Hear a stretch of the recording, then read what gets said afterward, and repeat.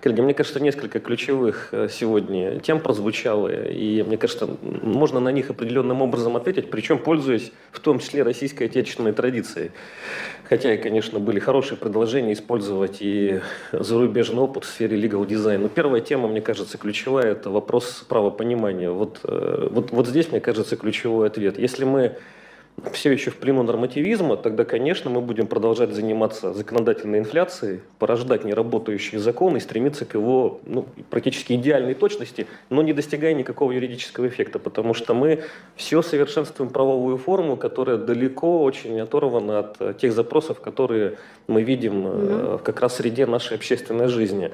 Отчасти сегодня уже прозвучали эти ответы, и я думаю, что не секрет, наверное, что широкое понимание там, или коммуникативная концепция права дает этот ответ.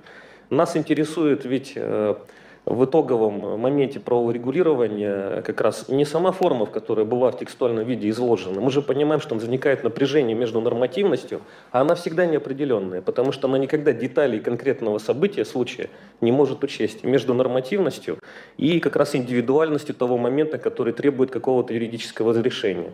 Но вряд ли мы заранее понимаем, какова будет цена продукта или товара в купле-продаже, хотя закон предлагает какие-то модели ее согласования определения, она же там не фиксируется. Наверное, мы никогда не можем сказать наверняка вот между этими организациями, как поставка будет производиться, с использованием перевозки или это будет доставка там какими-то силами поставщика. Все это мы видим в конкретно взятом отдельном случае, и не надо ждать от текста закона, что он на все эти вопросы даст ответа.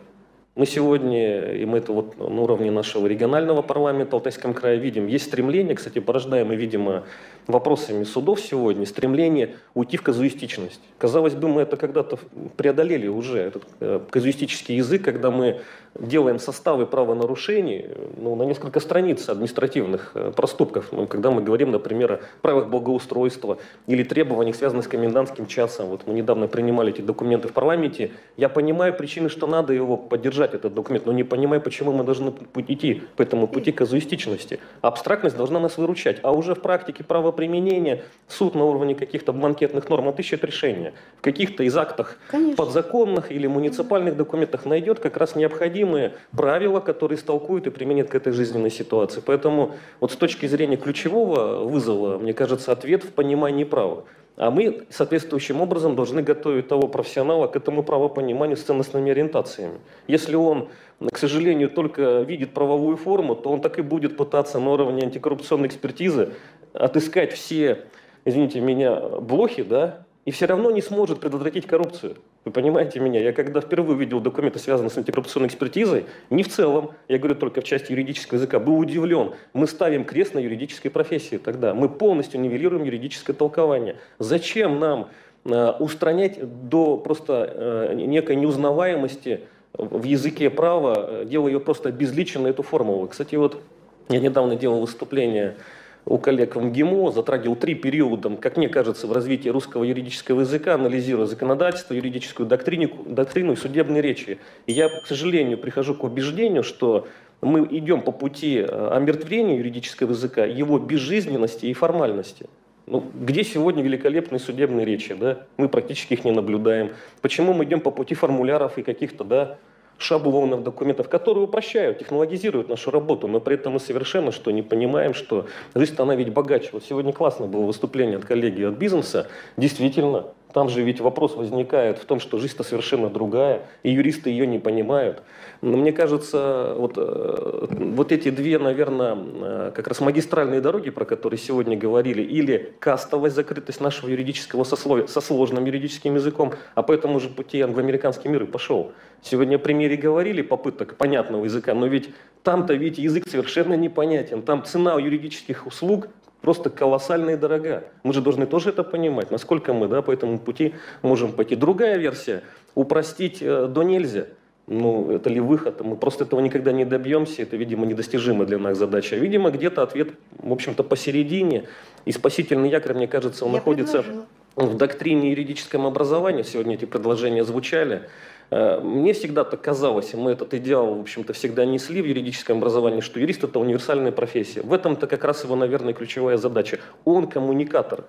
Он то лицо, которое, общаясь с представителями разных профессий, цехов, может обеспечить необходимую коммуникацию как в нормотворчестве, переводя запросы этих э, профессиональных сфер на понятный юридический язык для того, чтобы обеспечить качественное правовое регулирование. С другой стороны, он же потом и применяет эти да, подходы, выработанные благодаря как раз коммуникации с практикой. Вот, наверное, сегодня ключевая проблема, где мы видим рождение права. Я вот тут не соглашусь с Леной Борисовной, мне кажется, дело не в инженере. Инженер наш сегодня не общается ни с кем.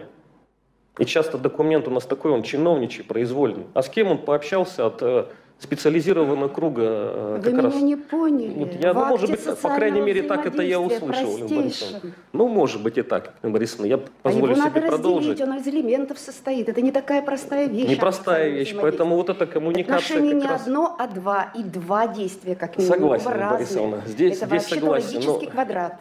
Коммуникация с профессиональным форму. кругом, она просто необходима. Иначе мы как раз и будем порождать те документы, которые совершенно будут неадекватны, неадаптивны для тех задач, которые сегодня есть э, в практике тех или иных организаций, бизнес-структур и просто субъектов права. Причем сферы совершенно могут быть разные. Есть где, да, требования, может быть, понятности, наверное, в какой-то степени обеспечены в взаимодействии с гражданами, но где есть профессиональный мир достаточно сложный. Конечно, мы понимаем, что здесь роль коммуникатора, юриста возрастает.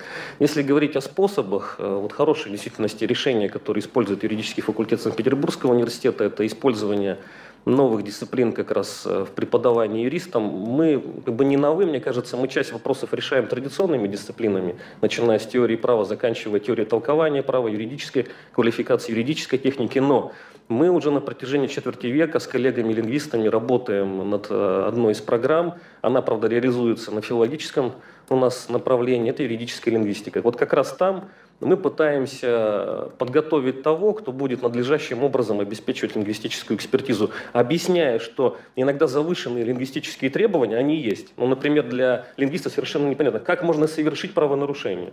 Это плеоназм. Там уже есть глагол внутри.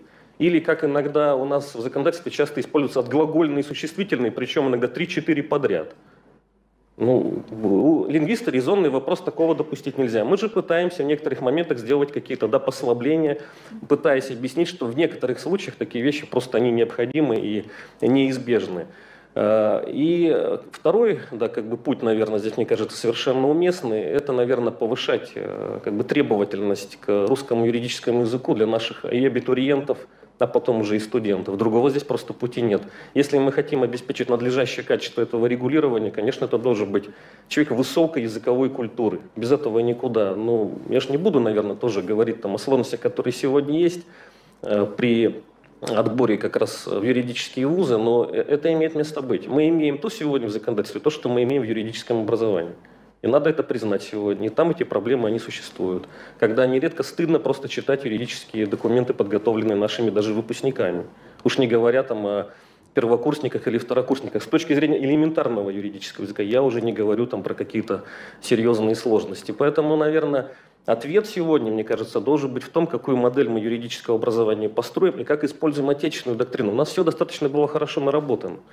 Какие успехи Владимир давала, да, заканчивая советская юриспруденция уже, да, ближе к 80-м годам, когда мы видели эпоху кодификации, первые автоматизированные системы обработки информации в Институте законодательства советского, да, при э, как раз руководителях тогда, и попытки создания свода законов, они же были успешными, быстро забытыми, кстати. Вот на другой секции работает коллега Ищук, она об этом тоже наверняка говорит. То есть, в общем-то, качество юридической профессии было должно. Мы до сих пор пользуемся этими плодами, и мне кажется, сегодня лишь нужно этот потенциал использовать и более активно применять в нашей юридической практике. Спасибо, коллеги, за возможность выступления. Спасибо большое. Спасибо, Антон Александрович.